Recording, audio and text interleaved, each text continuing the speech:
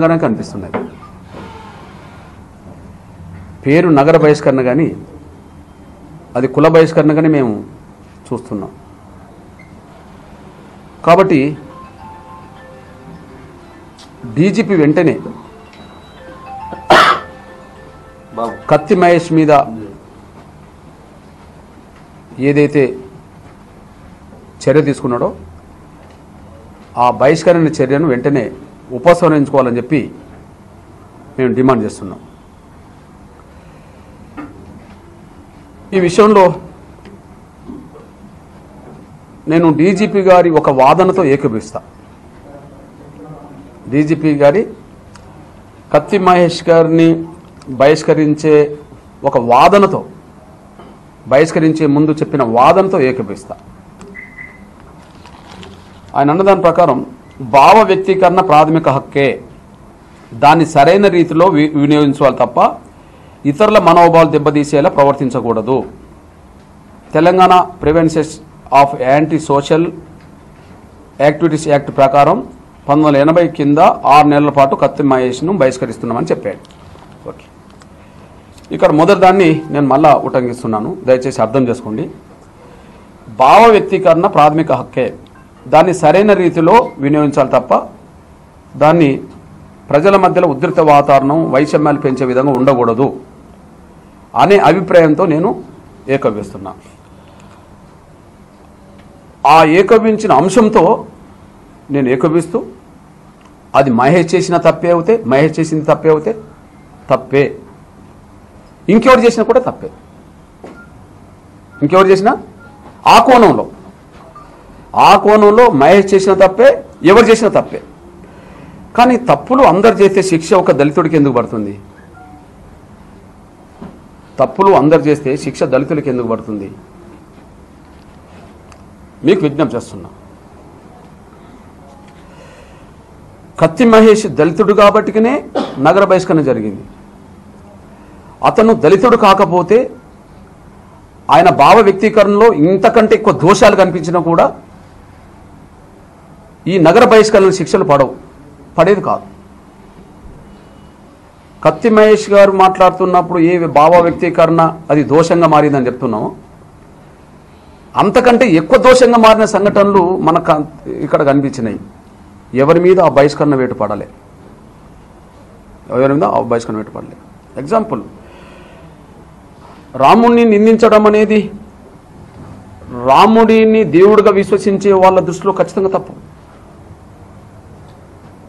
Okay ఆ తప్పు ఎలా జరిగిందనే విషయం కోనవుతుంది షిర్ది సాయిబాబాను దేవుడు అనేటోళ్ళు ఉన్నారు కదా. మరి షిర్ది సాయిబాబాను అవమానకరంగా మాట్లాడి ఆయన భక్తుల మనోభావాలు దెబ్బతీసే విధంగా మాట్లాడిన వాళ్ళు ఉన్నారనుకో. ఉన్నారనుకో. అది నేరం కాకుండా పోయిందా? అది నేరం కాకుండా పోయిందా? రాముడి భక్తులు మనోభావాలు దెబ్బతినకూడదు. కానీ షిర్ది సాయిబాబా భక్తుల మనోభావాలు దెబ్బతినవచ్చునా? అప్పుడు ఏమైంది? ఈ భావ వ్యక్తీకరణ సమాజంలో కొన్ని వర్గాలను కించపరచడానికి దారితీస్తుంది. అది తప్పు. ఆ తప్పు ప్రకారం శిక్షిస్తామన్న మాట కత్తి మహేష్ మీద ప్రయోగించిన మాట షిర్డి సాయిబాబాను అవమానిస్తే వాళ్ళ భక్తుల మనోభావాలు దెబ్బతీసినాయి. ఆ దెబ్బతీసిన సందర్భంగా చాలామంది రోడ్ల మీదకి వచ్చారు. వాళ్ళ మీద ఈ చట్టాన్ని ఎందుకు ప్రయోగించలేదు? నంబర్ వన్ రెండోది కొంతమంది మహనీయులు దేవుళ్ళు కాకపోయినా ఆ మహనీయులు అనుసరించిన మార్గంలో వాళ్ళని అనుసరిస్తుంటారు వాళ్ళని గొప్ప నేతలుగా కీర్తిస్తుంటారు. అందులో దేశం కాకపోయినా ఈ దేశానికి వచ్చి పీడితులకు తాడితులకు అనాథలకు పిల్లలకు సేవలు చేసిన మహనీయురాలుగా మాదిరి దర్శకు ఒక గొప్ప పేరు ఉన్నది ఈ దేశంలో ఉన్నది ప్రపంచంలో పేరున్నది. మదర్ తెరిసను అవమానించడం అంటే మదర్ తెరిసను కించపరచడం అంటే అది భావ వ్యక్తీకరణ స్వేచ్ఛను దాటిపోయినట్టు కాదా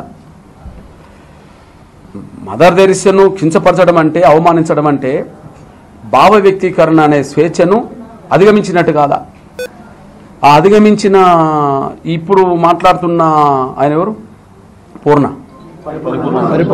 పరిపూర్ణాంధ్రకు ఈ ఇది వర్తించదా ఇవి వర్తించవా? ఓకే. రెండోది మూడోది.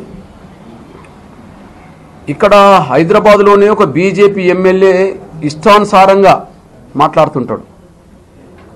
దళితుల మనోభావాలు ఇతరుల మనోభావాలు పేదల మనోభావాలు గాయపరిచే విధంగా ఎన్నో సందర్భాల్లో మాట్లాడిన సందర్భం ఉన్నది. ఉందా లేదా?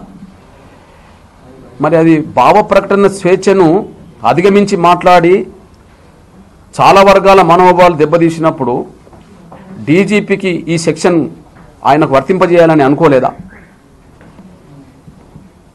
ఆయనకు వర్తింపజేయాలని అనుకోలేదా?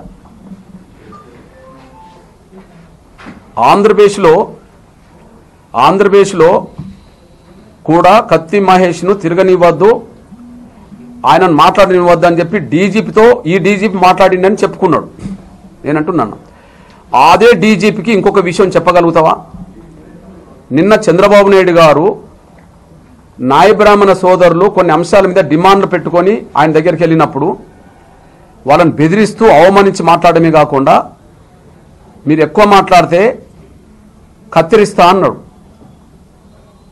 మీరు ఎక్కువ మాట్లాడితే కత్తిరిస్తా అన్నాడు. కత్తిరిస్తా అన్నాడు. మీరు ఎక్కువ మాట్లాడితే కత్తిరిస్తారనే మాట నాయ బ్రాహ్మణ సోదర వర్గాలను అవమానించినట్టు కాదా?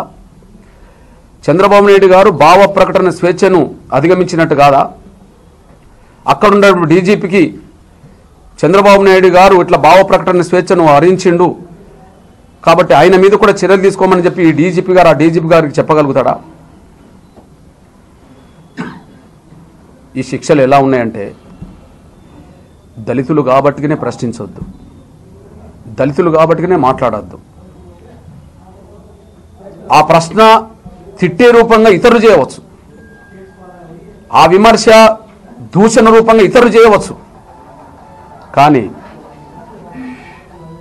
భావ వ్యక్తీకరణ అనే అంశాన్ని ఏదో ఒక సందర్భంలో దళితులు ఉపయోగించుకుంటేనే నేరం అవుతుంది ఆ నేరానికి మేము శిక్ష గురి కావాల్సి వస్తుంది.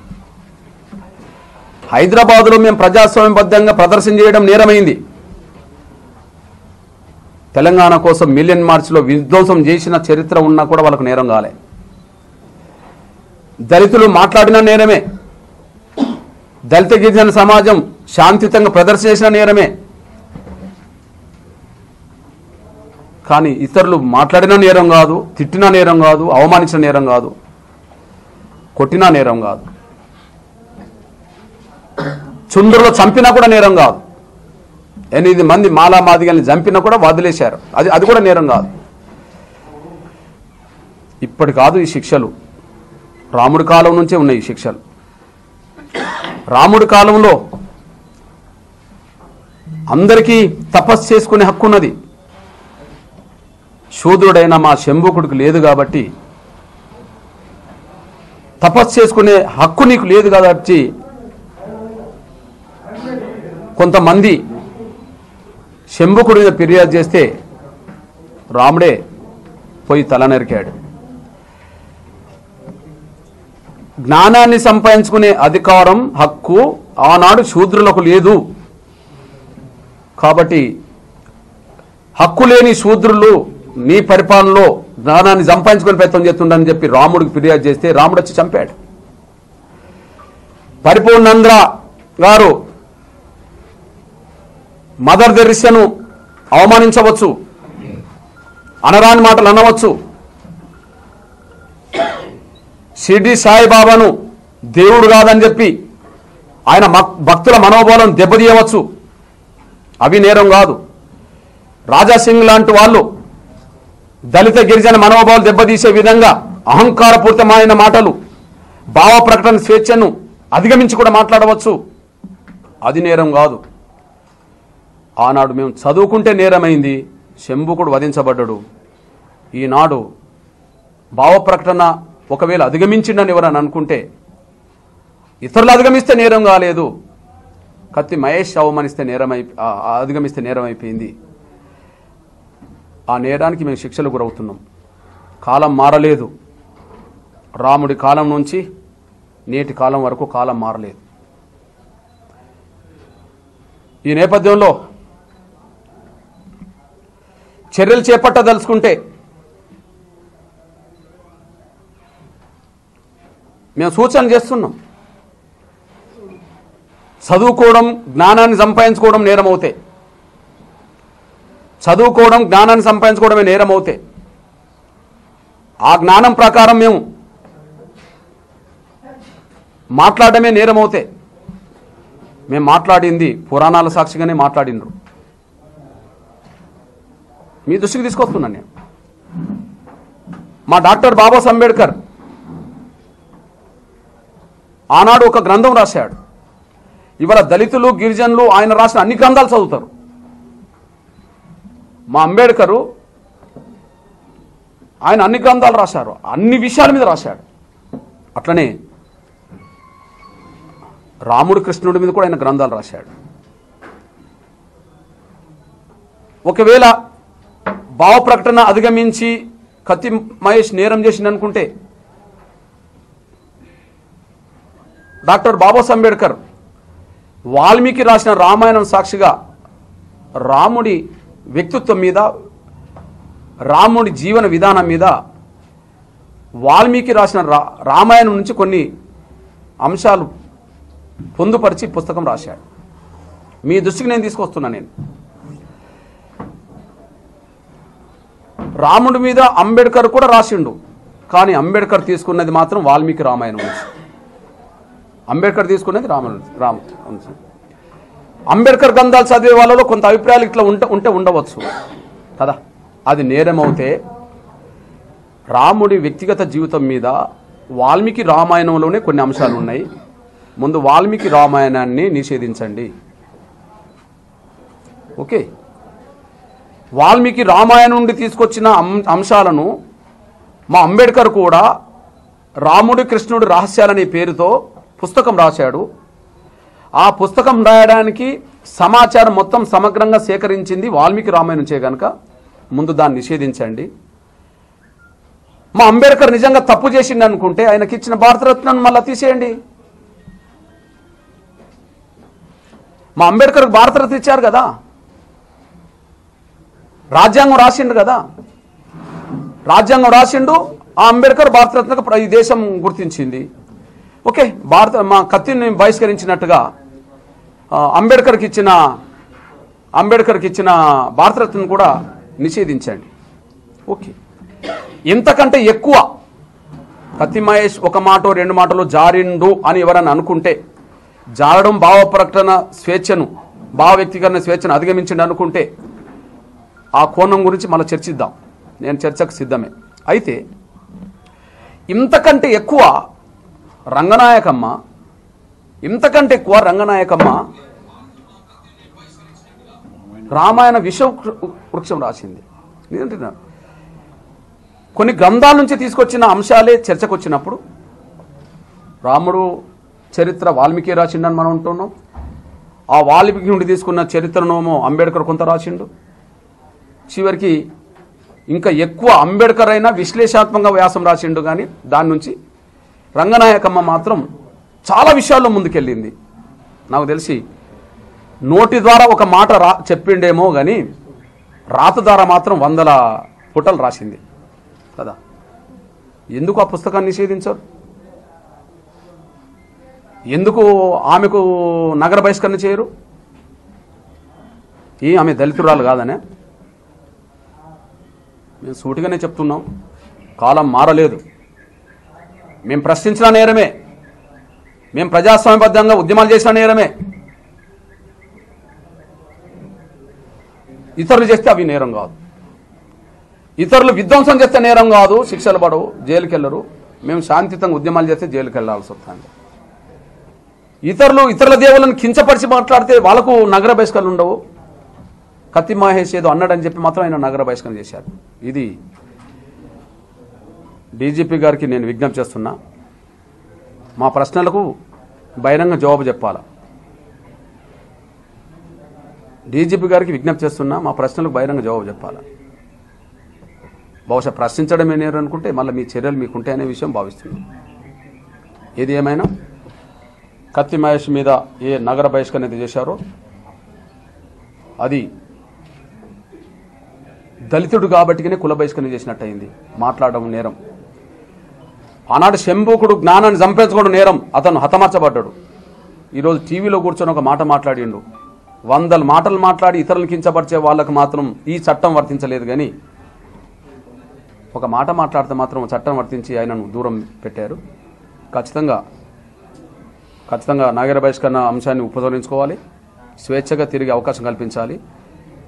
నేను ఎవరికైనా విజ్ఞప్తి చేస్తున్నాను నేను. రాముడి మీద విశ్వాసం ఉన్నట్లు రాముడి మీద ఉంటారు.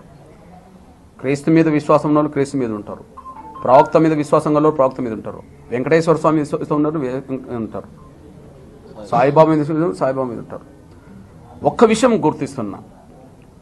ఎవరిమి ఇంకొకరి మనోభావాలు దెబ్బతీయొద్దు అని.